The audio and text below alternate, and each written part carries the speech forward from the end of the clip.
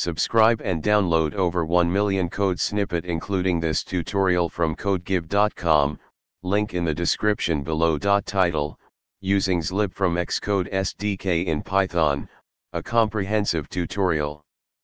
Introduction Zlib is a widely used compression library that is often included in development environments such as Xcode on Mac OS. If you're working with Python and want to utilize Zlib from the Xcode SDK, this tutorial will guide you through the process.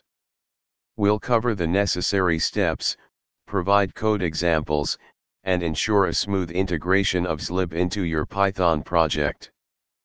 Prerequisites Step 1 Locate Zlib in Xcode SDK.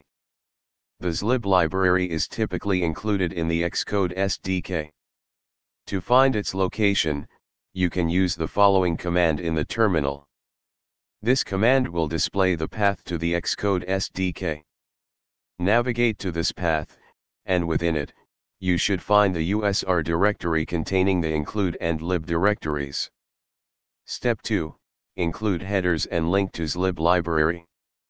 In your Python script or project, you need to include the zlib headers and link to the zlib library. Use the following code snippet as an example.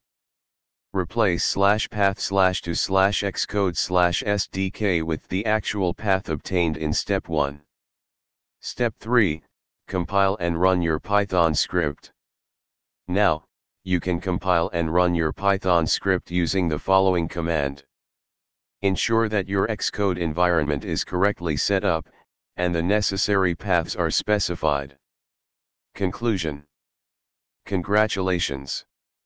You've successfully integrated Zlib from the Xcode SDK into your Python project. This tutorial covered the essential steps, provided a code example, and equipped you with the knowledge to utilize Zlib for compression in your Python applications. Feel free to explore further and adapt these instructions to your specific project requirements. ChatGPT